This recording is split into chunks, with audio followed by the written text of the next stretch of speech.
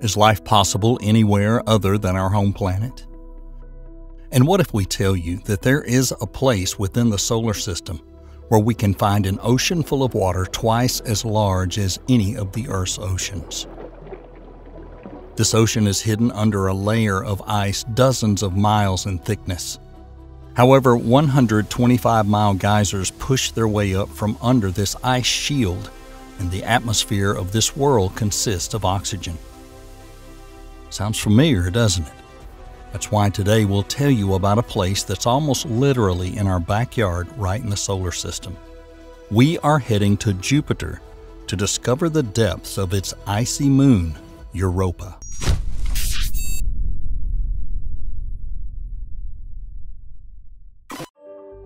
Europa is one of Jupiter's seven satellites.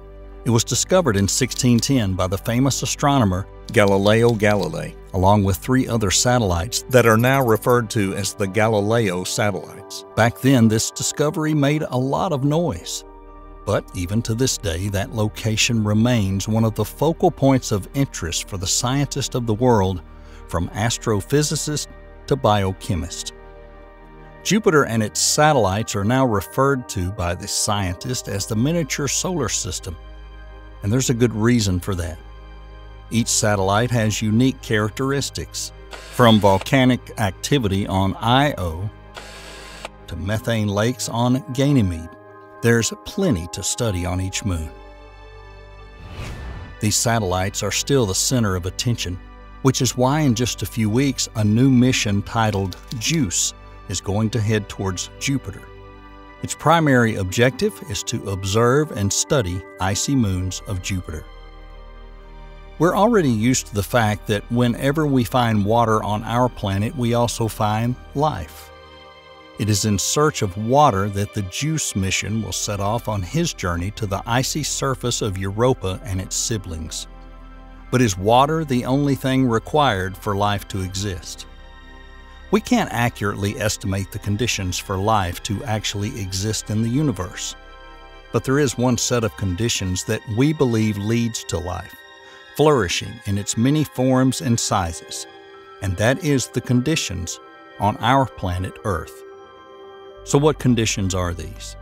Water is the number one ingredient among the list of ingredients required for life as we know it to exist. It's needed to dissolve and supply nutrients to organisms while also allowing the waste products of these processes to be disposed of. Many factors indicate there is water under the ice on Europa, and one of them comes from a similar situation on Earth. It turns out the double ice ridges and cracks visible on Jupiter's satellite are similar to those in Greenland. These irregularities are the potential evidence of the existence of liquid water under this ice. On Earth, such ridges are caused precisely by the presence of water cushions within the ice and under these breaks, which gave the scientists the idea that these cracks are similar to the ones on Earth. As for the chemical elements necessary for the creation and maintenance of life, it turns out they are present on Europa. Satellite photographs taken by the Voyager probe makes it possible to study the structure of ice and confirm that the ice is covered with a considerable amount of salt deposits and heavy metals such as magnesium, which incidentally is the reason for the hue similar to the color of blood. We observe similar conditions on Earth in Greenland where salt comes to the surface of the ice as a result of volcanic activity. On Europa, however, movements of ice strongly resemble the tectonic activity indicating they were possibly caused by it. The last ingredient we need is a source of energy. The Sun, which is an energy source for our planet, can hardly be considered to have any real influence on Europa's ocean. Still, the ice covering this moon reflects a huge amount of sunlight, and the distance to the Sun is six times greater than the distance from Sun to Earth. But the radiation exposure from Jupiter on each revolution around the planet is most likely the source of energy in question. The influence of Jupiter's radiation on the ice leads to the release of oxygen, which is what the atmosphere of Europa mainly consists of. Oxygen is the most important element in the organic chemistry processes on Earth, and if it somehow gets under the ice on Europa, it can become the fuel required for life to develop, even if it's just bacteria. It is also possible that on Europa there are life forms that are not dependent on oxygen. The so called anaerobic organisms exist on Earth, and in fact, in the early history of the planet, they were the dominant form of life. The last factor that's expected to be found through further study is the volcanic activity in the crust encircling the core of Europa. In the depths of our ocean, at the borders of continental plates, hydrothermal flows break out the ground.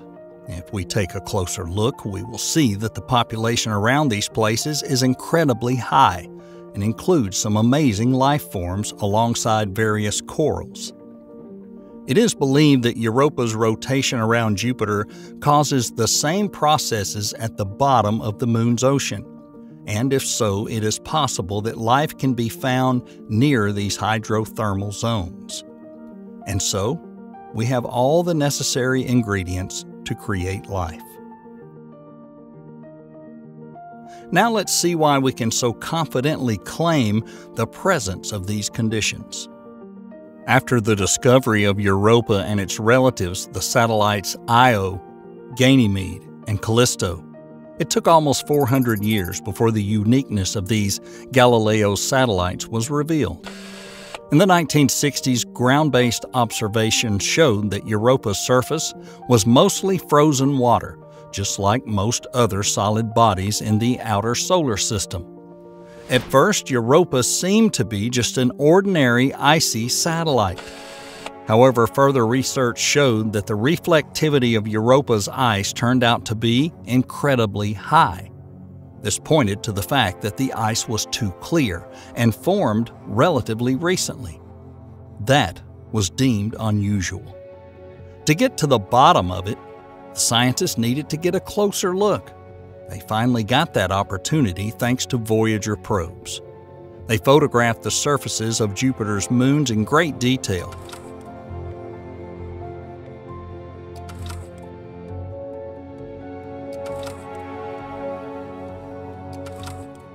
and it completely changed the scientists' perception of this moon. Indeed, Voyager's images show a surface brighter than that of the Earth's moon, dotted with numerous bands and ridges with a surprising absence of large impact craters, tall cliffs, and mountains. In other words, a very smooth surface compared to other icy moons. Why was that surprising? Every object in the solar system is bombarded by meteorites, but on Europa, these traces are either incredibly faint or absent. What do you say to that? The researchers noted that some of the dark stripes have opposing sides that fit together very well, kind of like puzzle pieces. Furthermore, between these cracks, there was some dark icy material that seemed to flow into the cracks. This has made scientists speculate that the surface of this moon has been in active motion at least recently. And so the absence of large impact craters indicates that Europa's surface was relatively young. At the same time, this means that something had erased the traces of any impacts. There are two possible ways to explain this. As they escape from under the crust, the streams of ice erased the traces of the meteorite hits, or the ice sank under its own weight along with any traces of the impacts. In both cases, it means that the icy surface is very dynamic, almost like there's a warmer layer underneath. The scientists also found that the cracks they see do not match the predicted patterns that would form as a result of gravitational tides as Europa orbits Jupiter there was a missing piece of the puzzle. This led to a conclusion that Europa's ice crust was not so solid. It was determined that if Europa's surface moved independently of the inner layers, the patterns would match very well, which would be the case if there was a layer of liquid or slightly warmer ice between the surface and the depth. This spurred the scientists to learn more about Europa, and soon they finally had an opportunity to do that. The Galileo probe was launched in 1989 and entered Jupiter's orbit in 1995. Galileo's main mission included observing each of Jupiter's four satellites during repeat flybys. The information sent by Galileo about Europa was so intriguing that the mission was extended to make a total of 12 close flybys near the icy moon. One of the most important pieces of data that caught scientists' attention showed that Jupiter's magnetic field collapses in the space around Europa. Scientists believe that the most likely reason for this magnetic anomaly was there is an ocean full of salt water under the icy surface of Europa. Only a large body of water would have such an effect. At this point, scientists were more than sure that there was an ocean on Europa. However, this was only the beginning. Exploring Europa got even more intriguing after some research of the Antarctic ice shelf. A new and truly stunning type of snow was discovered there, and it appears the same kind of snow could be falling on Europa. Surprisingly, it seems to fall upwards. How does it work? It's simple. The snow itself is lower in density than salt water, both in the Earth's oceans and on Europa. And the most amazing thing is that on Europa, due to the thickness of the ice, the snow most likely rises from the bottom up under the crust, possibly forming the same kind of mountains as on Earth, but upside down. The next thing hinting at activity under the ice were the geysers bursting from under the crust. Over the past 10 years, they've been recorded three times by scientists. These are bursts of ice reaching at least 125 miles in height according to calculations. How does it happen? Scientists estimate that the depth of the ocean is about 35 to 65 miles, and the thickness of the ice crust above it is about 12 to 20 miles. It is precisely the relationship between the subglacial ocean and the ice lid during Europa's revolution around Jupiter, namely their friction and increasing temperature that causes the ice to crack and display those cracks. Ice geysers periodically break out from the cracks consisting of warmer ice or even water. One of these geysers was captured by Galileo. Unfortunately, there was no way to collect samples of this substance. At the same time, it is also important to point out in the process of formation of such cracks, oxygen from above Europa's surface gets under the ice crust. This is yet another factor that speaks to the possible existence of life on Europa. And now that we've already formed a certain picture in our mind, we just need to wait because, in addition to the mission that we mentioned earlier, there will be another journey, and it will be entirely dedicated to studying Europa. Europa Clipper. The mission is scheduled to launch in 2024.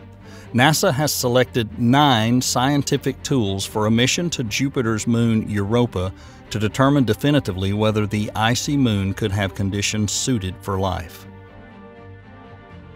The toolkit includes cameras and spectrometers for high resolution imaging of Europa's surface and to determine its composition. This glimpse will not just show us a picture, it will also make it possible to figure out exactly what we see.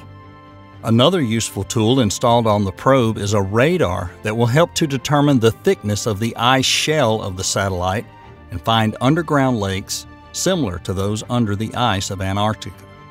A magnetometer on board measuring the strength and direction of Europa's magnetic field would allow scientists to determine the depth and the salinity of its ocean. The thermal equipment will scan Europa's surface for recent eruptions of warmer water while the remaining tools will look for evidence of water and tiny particles in Europa's rarefied atmosphere.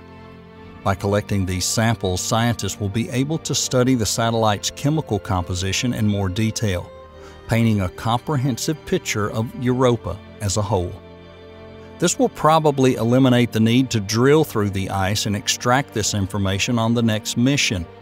It is expected that once the probe reaches its destination and begins to revolve around Europa in 2030, The equipment will be able to do more than just understand the composition and structure of the moon in detail. After the Hubble telescope observed a water plume over the south pole of Europa in 2012, scientists hope that a new ice geyser will be detected during the flyby and that it will be possible to collect samples. The main purpose of the mission is to determine over the course of the planned 45 to 50 flybys if there are places under the ice crust of Europa where life could exist. The more detailed photographs of the satellite will allow scientists to select points of greatest interest for further observation. They plan to get as close as 25 miles from the surface.